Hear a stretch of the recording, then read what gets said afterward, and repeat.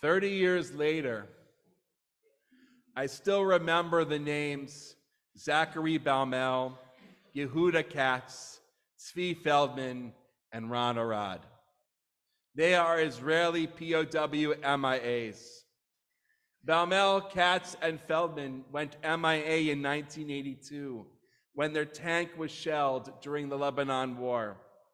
Ron Arad was captured in 1986 by Lebanese militias when his plane went down during a bombing raid. I was in high school 30 years ago, and during USY youth groups, we would write letters to UN officials urging them to help broker deals so that Israel could at least learn the fate of the four boys, as they were called, and if they were dead, to let us bury them properly in the land of Israel. They were young men, young men sent to do the fighting of political leaders who couldn't yet make peace. We knew that Israeli brothers and sisters our age, the ones in high school, would all be serving in the IDF in just a few years while we were in college. We felt a connection to the people in Israel and wanted to make sure that our letters and our voices were heard. It took a long time, at least for these four boys. In 2019, Israel brokered a deal with Russia and Syria, and Baumel's body came home for a burial. We still don't know where Katz and Feldman's body are. And in 2021, rumors were confirmed that Ron Arad was killed in 1988. He spent two years literally in captivity. And Israel actually is still running intelligence operations to determine where he is buried. And they could use that as a bargaining trip to get his body back. And if you drive on Northern Boulevard and Community Drive, you'll see that there is one of those black MIA POW flags under the Israel the American flag. War is still a part of humanity, but ensuring that individuals don't become forgotten pawns of these wars is also part of humanity. We can honor veterans who return home and we can even honor the fallen when we have their bodies for burial.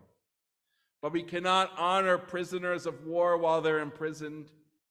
And we cannot rest until we know the fate of every single MIA and hopefully bury them on home soil.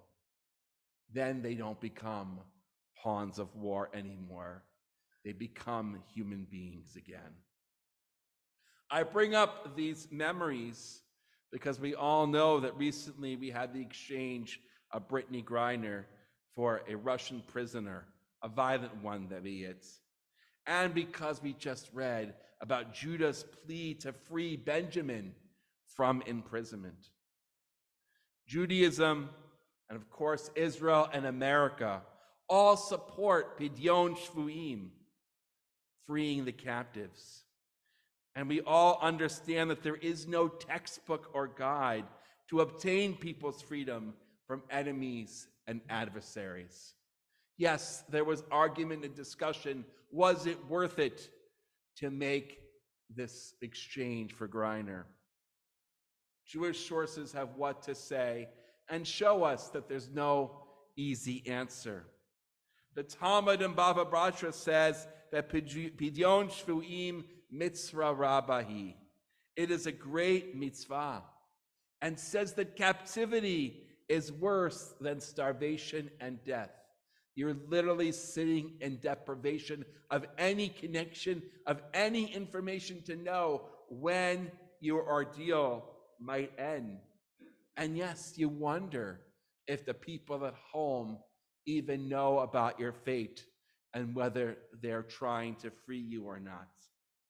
Maimonides rules later on that one who ignores the ransom of a captive is guilty of transgressing the commandments, several of them.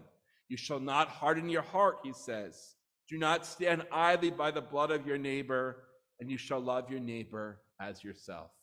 He lived at a time when there was a lot more hostage taking and ransoming. And yes, communities would have to literally pool together their meager funds to free them. And that is what Pidyon Shvuim was. And it was considered a mitzvah rabbah.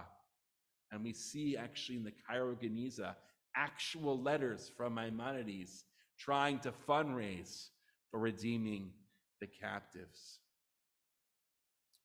We also describe in our daily prayers that God is matir asurim, freeing the bound and the captive. But our rabbinic texts also tell us that there are some limits to this great mitzvah, but it's rather vague. The Mishnah says that one does not ransom captives for more than their value. What that means, we don't know.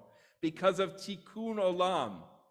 And one does not need to risk themselves to make captives escape, to break them out of their captivity because of tikkun olam. What does the Mishnah mean by tikkun olam? We know it as literally fixing the world, and that's how we use it today. But I think the Mishnah understands it, tikkun olam, as for the good order of the world, a precaution that we need to look out for the general good. What does this mean? Some say, don't fall for really exorbitant high ransoms.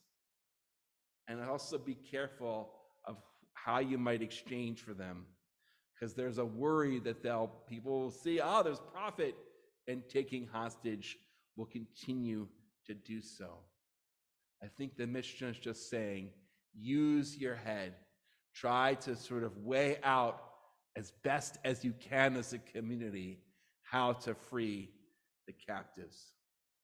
We know these same debates took place as the U.S. negotiated for the release of Brittney Griner with Russia, of all countries, as she was sentenced to nine years for drug possession.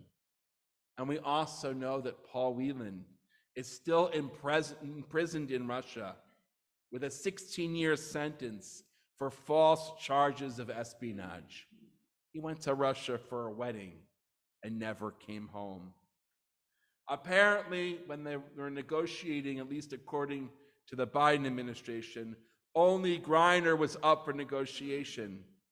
And they obviously demanded an extremely high price for her.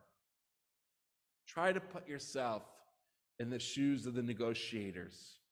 Do you accept a lopsided deal for the sake of bringing Griner home? Or do you consider the price too high for too little of a return? Is this murderer going to continue his terrorist acts? It's a hard judgment call and one that we need to be wary to criticize too harshly. I will speak for myself and that the image of any American prisoner at a labor camp in Siberia is scary enough to warrant almost any exchange. If there is an opportunity to free one, we should do so. It is beautiful and heartening to see Brittney reunited with her wife, her family, and her friends. And I must note that the first thing that Brittney said was that we need to continue to work to free Paul. And she also urged us to write letters to Paul. She says that the letters that she received in prison from Americans told her she was not forgotten and gave her the hope that one day her ordeal would be over. So, as one of the first things we should do in 2023, let us, like I did 30 years ago in USY, put pen to paper and write to Paul Whelan. After the service, if you like, I actually have sheets of paper with his address on it. It's from freepaulwhelan.com. And actually, to send something to a consular, it's just a first class stamp to Washington, D.C., that will then make its way to Moscow. And you can also send an email at freepaulwhelan at gmail.com, and they'll try to get the message to him. I conclude with a prayer. Master of the universe, we pray that you speedily release Whelan from prison. May Israel learn where Ron Arad is buried. And may we learn the fates of all American MIAs. For you are the knower of secrets and the Matir Asurim, the freer of captives. And let us all say, Amen.